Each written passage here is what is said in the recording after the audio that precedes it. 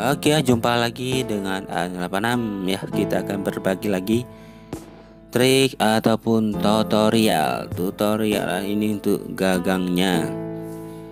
Oke, gagang ini kita sediakan itu paralon 1 per 4 in ya. Setelah 1 in G dan ini setelah itu 1 per 4 in. Dibentuknya seperti ini ya karena lebih pas untuk gagangnya jadi kita gunakan nah, dipotong dulu sini ya. Kita gunakan itu uh, gagangnya yang itu satu per empat in jangan sampai salah. Kalau satu ini agak kecil kalau lebih pada satu per empat in itu lebih besar. Kalau ini memang pas kita pegang enak. Dibentuknya seperti ini dan ini kita harus ingat bahwa untuk gagang ini harus disesuaikan dengan bentuknya ya. Agak merah sedikit ini dipotong nanti dirapikan lagi ya. Karena ini kita biasanya ini pipa dasarnya bulat ya. Kita harus sediakan yang itu alat khusus yaitu apakah gas kompor gas ataupun ada alat khusus lain ya pakai listrik. Ya oke kita lihat dulu. Jadi di sini kita harus mengerti bagaimana biar bentuknya itu pas gagangnya ya agak dan ini kita eh, sediakan alat ini untuk kerjanya lebih simple lebih bagus ya tidak uh, kosong kalau kita pakai gas. Jadi ini ada dua multi ada gerak cepat dan ada, ada gerak lambat gitu ya. Jadi di sini gerak cepat untuk lambat dia tergantung api di dalam sini. Ini ada heater nanti dia itu akan memerah ya di YouTube sama ada udara di dalam itu lebih cepat berapa menit langsung lembek semua.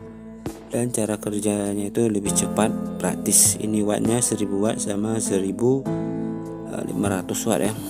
Ini ada uh, untuk mati hidup ya di tengahnya swingnya switch ya untuk mati hidup. Jadi ini membantu saya dalam mengerjakan sesuatu hal tentang paralon ya. Harga murah sekitar 200.000 lebih ya lebih praktis cara kerjanya oke? Okay?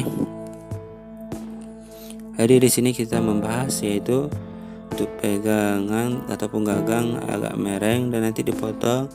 Ini sebetulnya kurang rapi ya karena saya alat pun belum begitu lengkap. Yang penting sudah pas kita cek deh. Ini pakai lem Ateco nah, setelah pakai lem Ateco dipotong dirapikan ya ini sudah bagus karena kita sebelumnya kita pakai heater ya. Heater itu dalam langsung disesuaikan tuh enak dipegang.